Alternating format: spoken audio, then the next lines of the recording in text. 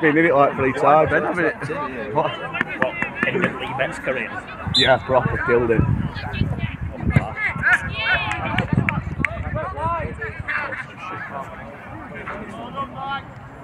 Come on, lads, it's no, no.